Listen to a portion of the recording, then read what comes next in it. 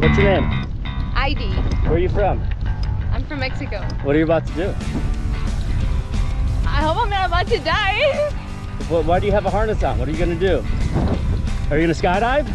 Yeah. Okay, high five. Yes, let's skydive.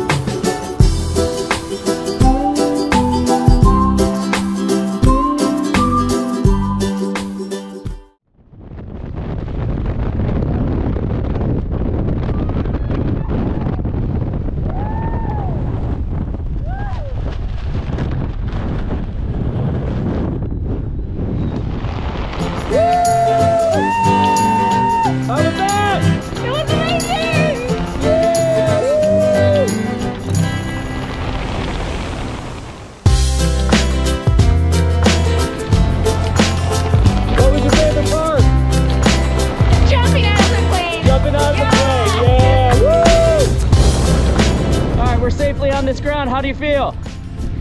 So cool. It was so cool. Good. High five. You're a great student. Thanks for joining us at Big Island Gravity.